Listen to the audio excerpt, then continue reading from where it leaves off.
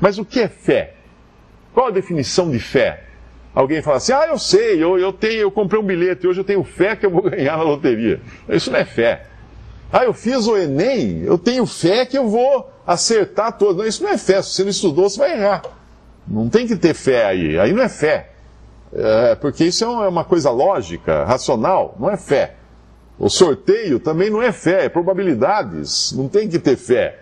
Não, é? Não vai mudar o número que cair lá na bolinha, a hora que cair na hora do sorteio do, do, do bilhete premiado. Não vai acontecer. Por mais fé que você tenha, né? Eu costumo brincar às vezes, quando eu estou dando palestra, eu falo em empresas, palestra de segurança, eu falo muito de segurança e de que segurança não, não é uma coisa que você deixe à mercê do, do acaso, né? Que, ah, vamos, vamos torcer para não acontecer, vamos, vamos ter fé que não vai acontecer o acidente, dizer, se você não prepara tudo. E aí eu brinco com a, com a plateia, eu falo assim, ó, vocês, vocês acreditam no poder da mente?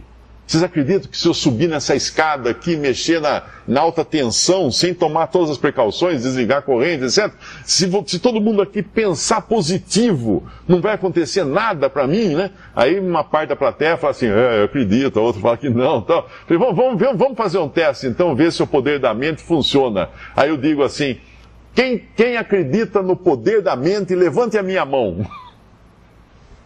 Aí eu fico olhando para minha mão para baixo e não levanta a minha mão. Ninguém consegue. Um auditório de 200, 300, 500 pessoas fazendo o poder da mente e minha mão não levanta. Então não tem poder nenhum para fazer levantar minha mão. Fé não é isso. Fé é explicado em Hebreus capítulo 11, versículos 1 a 6. Fé é a certeza de coisas que se esperam, a convicção de fatos que se não veem. Isso é fé. Certeza e convicção. No que?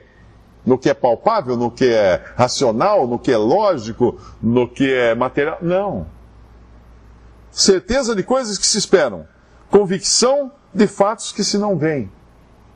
Mas o importante da fé, dentro do contexto do cristianismo, não é a fé em si, mas em quem eu coloco a minha fé, o endereço da fé, o depositário da fé. Onde eu dirijo, é como, vamos pensar em fé, como se fosse um desses negocinhos de raio laser que a gente usa em, em apresentações, né? Que você aponta na, no quadro lá, ele mostra a palavra da qual você. Fé é onde eu dirijo esse raio laser, que é o importante, não a coisa em si, onde ele vai ser apontado, onde ele vai ele encontrar, onde ele vai encontrar com algo, e esse onde, esse, esse onde na verdade é um quem. A fé em Deus e na Sua palavra, a fé em Jesus Cristo como Salvador, essa é a fé que salva. Essa é a fé que salva. No, no, no mesmo livro de Hebreus, no capítulo, no capítulo 11, versículo 6, diz que sem fé é impossível agradar a Deus. Deixa eu ler o contexto todo, que eu acho que é interessante e vai fazer mais sentido se nós lermos do versículo 1 ao versículo 6. Ora, a fé é o firme fundamento das coisas que se esperam e a prova das coisas que se não veem. Porque por ela os antigos alcançaram testemunho. Pela fé entendemos que os mundos, pela palavra de Deus, foram criados. De maneira que aquilo que se vê não foi feito do que é aparente. Então, até para acreditar na criação, precisa fé. Alguém fala assim, não, mas é, aconteceu o Big Bang e aí os mundos surgiram, tal, legal. E, e quem que criou o Big Bang? quem, quem criou esse, esse fator que deu início? Não, Deus criou as coisas. Deus falou, os mundos surgiram. Deus falou. E aqui é o que fala. Pela fé entendemos que os mundos, pela palavra de Deus, foram criados, de maneira que aquilo que se vê não foi feito do que é aparente. Pela fé, Abel ofereceu a Deus maior sacrifício do que Caim, pelo qual alcançou testemunho de que era justo, dando, dando Deus testemunho dos seus dons, e por ela, depois de morto, ainda fala. Pela fé, Enoque foi trasladado para não ver a morte e não foi achado, porque Deus tra o trasladaram, o levaram da terra, visto como antes da sua tra trasladação alcançou o testemunho de que agradar a Deus. Ora, sem fé é impossível agradar-lhe, agradar a Deus, porque é necessário que aquele que se aproxima de Deus creia que ele existe e que é galardoador dos que o buscam. Uh, tem uma outra versão que fala assim: sem fé é impossível agradar a Deus, pois quem dele se aproxima precisa crer que ele existe e que recompensa aqueles que o buscam.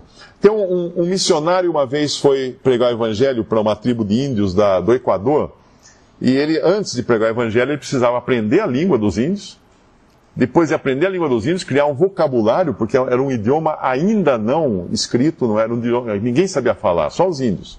Então ele ficou vivendo meses naquela tribo, aprendendo tudo na base do o que, que é isso, o que, que é aquilo, o que é aquilo outro, fazendo, criando os verbos, os adjetivos, os substantivos, criou toda a gramática para depois conseguir falar a língua dos índios. A gente pensa, olha, olha o trabalho, para só então pregar o evangelho para eles.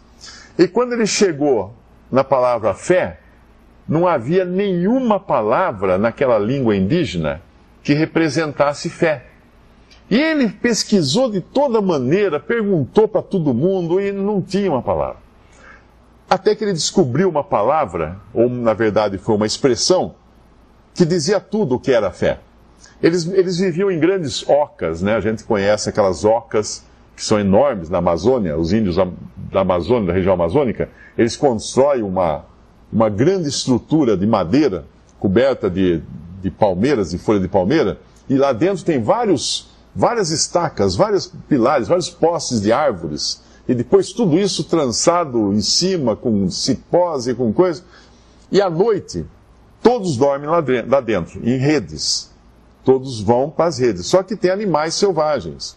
E ninguém vai dormir no chão para ser comido por uma onça. Então o que eles fazem? Eles trepam naqueles postes, amarram a rede em um, amarram a rede no outro e dormem lá em cima.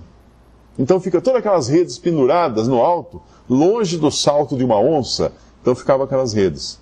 Então ele olhou aquilo e ele descobriu que tinha algumas, alguns postes daquele onde os índios não amarravam a rede. E aí ele foi perguntar por quê. Porque está podre. Porque está podre. Eles só podiam amarrar a rede num poste que eles realmente confiassem. Porque senão eles caíam lá de cima quebravam o pescoço e morriam. Então ele usou para traduzir a palavra fé uh, fé em Jesus, ele traduziu amarrar a rede em Jesus.